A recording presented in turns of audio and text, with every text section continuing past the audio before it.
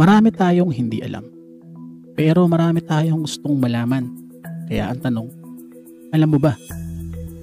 Alam mo ba na merong isang itinuturing ng mga mananampalataya na isa raw relikyas ng Panginoong Heso Kristo kung saan nakamarka at makikita raw dito ang imahe niya. Ito ay ang tinatawag na Shroud of Turin. Kung babalikan natin ang kwento ng pagkamatay ni Jesus, matapos siyang hatulan ng imperyo ng Roma ang kamatayan. May isang lugar na pinaglagyan ng katawan niya. At nang dalawin nito ni Maria Magdalena, ay nakita niyang wala na ang katawan dito ni Jesus. Agad niya itong sinabi sa mga apostol na nawawala ang katawan sa pinaglalagyan nito at nang puntahan ito ni Juan at ni Simon Pedro, wala na nga ang labi dito Kaugalian naman talaga sa mga Israelita na ibinabalot sa mga kayong lino o linen clothes sa Ingles ang mga pumapanaw. At ito rin ang ginawa kay Kristo noong namatay siya sa krus. Binalot siya sa mga kayong lino.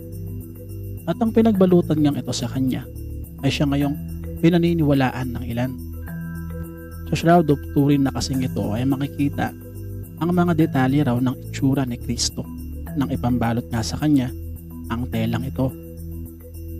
Ayon sa banal na kasulatan, si Jose ng Arimatea ang nangalaga sa paghimlay kay Jesus. Siya ang kumuha kay Jesus sa pagkakapako nito sa krus. At nang makita nga ni Maria Magdalena na nawawala ang katawan ni Jesus, nakita naman ng apostol na si Pedro at ni Juan na tanging mga tela na lang ang natira sa libingan wala namang binanggit kung kinuha ba ulit ni Jose ang mga telang ito at itinago niya. Pero yun ang naging pakahulugan at lumabas sa kwento ng maraming mga historian. Muli daw itong kinuha ni Jose at itinago. Hanggang sa paglipas ng panahon, hanggang sa mapunta ito sa pangangalaga ng Constantinople. Kung totoosin malaki ang agwat ng panahong iyon mula sa panahon ni Kristo at ni Constantine. Dahil halos daang taon ang pagitan nun. Kaya hindi rin naman sigurado kung yun talaga ang tela. At isa pa ay hindi rin naman sigurado kung kinuha ba talaga ni Jose ng Arimatea ang mga telang iyon. At makalipas ang ilang panahon, muling lumitaw sa record ng kasaysayan ng Shroud of Turin noong 1354. Ito raw ay nasa pag-aari ng isang kilalang kawal na si Joffroy de Charny. At ang sumunod naman na yugto, hindi pa man natatapos ang 14th century noon, mga 1389, nang may mag-report sa isang papa, si Papa Clement VII. May nag-report sa kanya patungkol sa isang reliquias daw mula kay Kristo na nakasama sa isang exhibit. Ito nga yung shroud na ginamit na pambalot sa katawan daw ni Kristo pero doon pala mismo sa panahong iyon ay pinalilitaw na na hindi authentic ang shroud na iyon. Dahil isa raw kasing artist ang umamin na ipininta niya lang ang nakalarawang imahe ni Kristo sa tela. Ang lahat ng confession ng artist ay sinabi niya sa isang bishop at ito namang bishop ay sinabi ito ay Pope Clement VII. Kaya naman itong si Pope Clement VII ay itinuring lang ang telang ito na isang representasyon at walang halagang pangkabanalan at hindi kailangan gawing sagrado. E paano nangyari na pinaniniwalaan pa rin ito ng maraming deboto bilang banal na bagay mula kay Kristo? Sa totoo ay sinasamba pa nga ito ng ibang tao hanggang sa kasalukuyan. Ito ay dahil ito namang si Pope Julius II ay naniniwala sa authenticity ng telang iyon. Naniniwala siya na ginamit talaga itong pambalot kay Kristo. At dito na nga nagsimulang maging bahagi ito ng pananampalatayang katoliko bilang banal na bagay.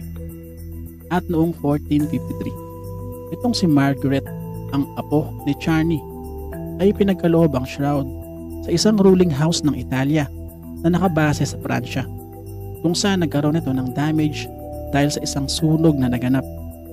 Kaya naman ito ay nirepair at nilagyan ng backing cloth at saka inilipat sa mismong bansa ng Italia sa lugar na kung tawagin ay Turin noong 1578. At doon na nga siya sinimulang tawagin na Shroud of Turin o Turin Shroud at naging part na ito ng pananampalatayang katoliko ng panahong iyon.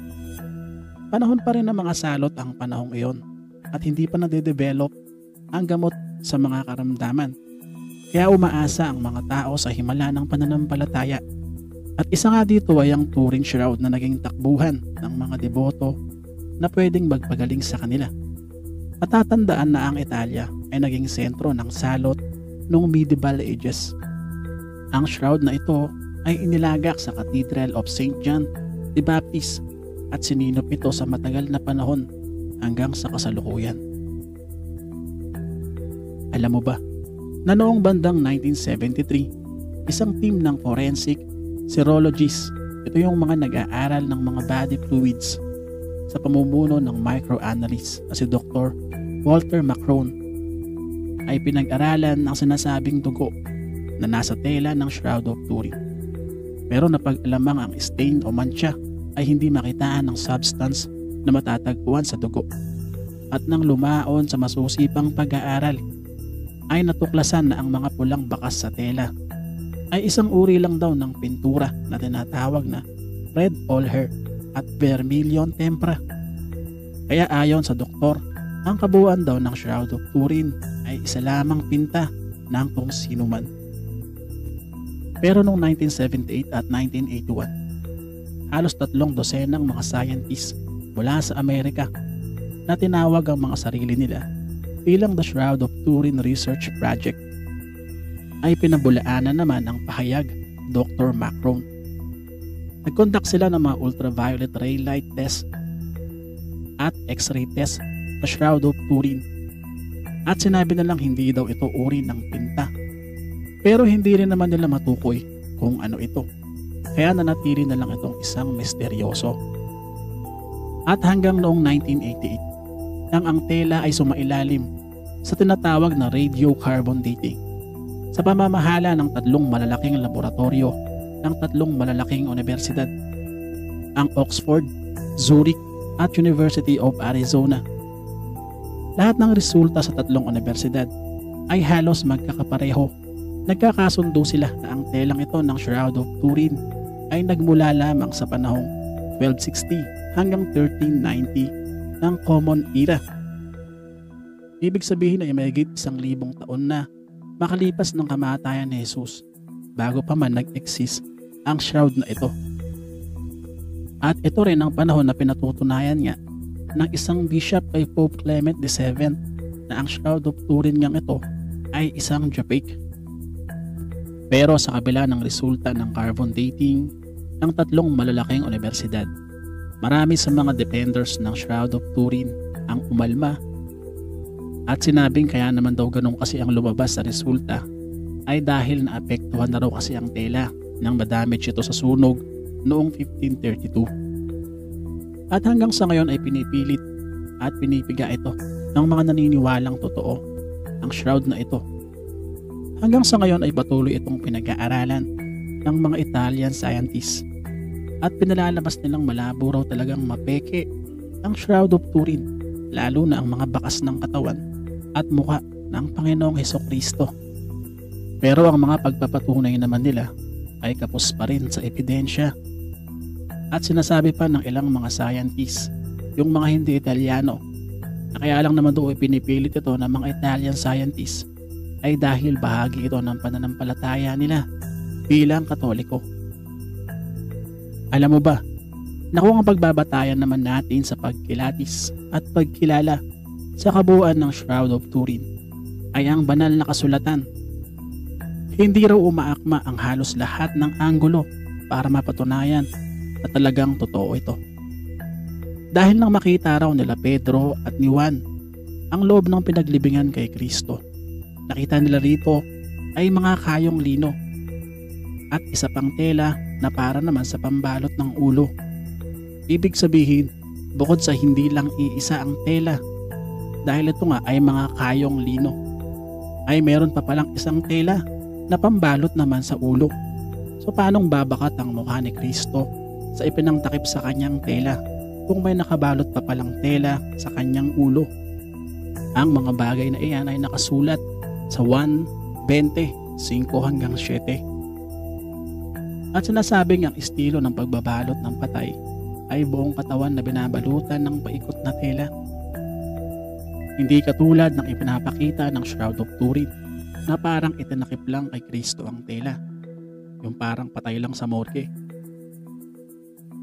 Mahalata mo rin ang pagkakapantay masyado ng pwesto ng kamay at iba pang katawan na bumakat sa tela ay masyadong accurate at detalyado na imposible naman daw talaga dahil pwede naman daw magkaroon ng mga spaces at mga lalim dahil hindi naman daw lahat ay didikit sa tela. At ang pinakadahilan kung bakit hindi daw dapat paniwalaan na totoo ang Shroud of Turin. Kapag ang basehan ay ang Biblia, ayon sa mga eksperto, ito ay dahil si Kristo daw ay hindi nagtataglay ng mahabang buhok dahil yun daw ang mga turo niya at kautosan sa mga lingkod niya at mga tagasunod. Huwag magpahaba ng buhok kung ikaw ay isang lalaki. Dahil itinuturing daw yon na mahalay at unsacred sa pananampalatayang kristyano. Ito naman daw ay mababasa sa ikalawang Korinto 11.14. Isang mahalay pala sa lalaki ang mahaba ang buhok kung ang bagay na yon ay naging isa sa mga katuruan ng Panginoong Heso Kristo ay malamang hindi siya long hair na yon ang makikita mo sa marka ng Shroud of Turin. At kung itinuturo ni Kristo na huwag magpahaba ng buhok, alangan naman siya ay mahaba buhok, di ba? Illogical. Kung uugatin mo ang kasaysayan, totoosin nung una pa lamang, ay hindi naman na dapat pinaniwalaan talaga ang Shroud of Turin dahil mismong si Pope Clement VII na nga ang nagsabi na isa lamang itong representasyon dahil nga sa pag-amin ng gumawa nito na isa lamang daw itong falsipikado. Marami lang din talaga pang naniniwala hanggang sa ngayon na totoo nga at may naidudulot na himalain to sa kanilang buhay. Ang totoo ay may mga iba pa palang shroud na lumitaw din ng 14th century na katulad din ng Shroud of Turin. Nagkataon lang na ang nasa Turin ay ang mas pinaniwalaan ng karamihan na kung totoosin ay hindi naman talaga dapat paniwalaan. Para sa marami pang alam mo ba, see you sa next episode. Bye bye.